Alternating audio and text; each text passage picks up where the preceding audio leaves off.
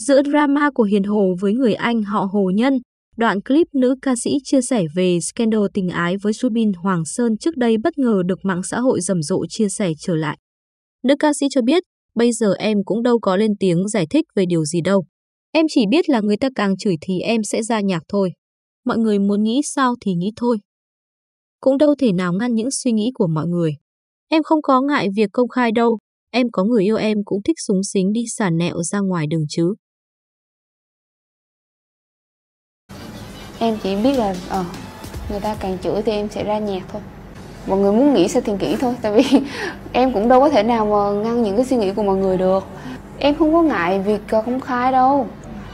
Em mà tìm được người yêu em cũng thích súng xính đi với người yêu xà nẹo ra ngoài đường chứ. Nghe hiện tại thì tại vì em tập trung vào công việc, không có thời gian anh. Em không có thời gian. Tối em rảnh là em xuống nhà em xem phim, xong em về em ngủ. Ngủ xong rồi lại đi làm, tập nhảy, tập hát.